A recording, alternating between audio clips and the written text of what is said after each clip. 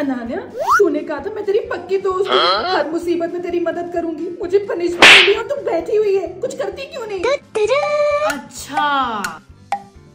तू रुक मैं अभी आती हूँ। सर आपने पुनीत को पनिशमेंट दी है इसको माफ़ करो अभी के अभी। क्यों? तू कौन होती है मुझे बताने वाली? चल जा अपने टेस्ट पे बैठ। अच्छा सर। पहले ये तो देख लो।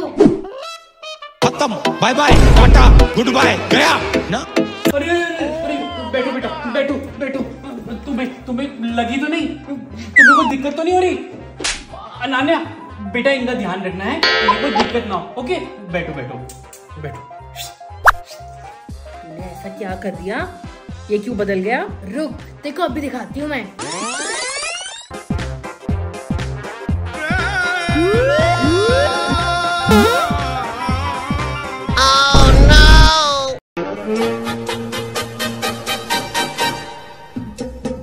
Bongo la, bongo cha cha cha.